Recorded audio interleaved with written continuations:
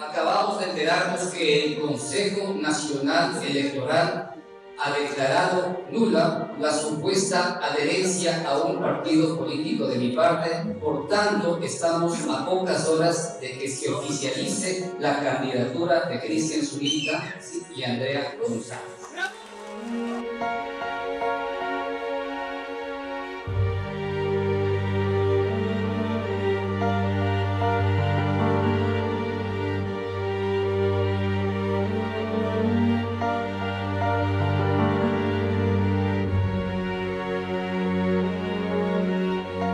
He convocado a sesión de pleno para que se resuelva el día de hoy, en esta noche, siguiendo todo el procedimiento con los informes correspondientes, con el descargo que efectivamente presentará la organización política y en esta noche nosotros proceder a inscribir la candidatura de Cristian Zurita.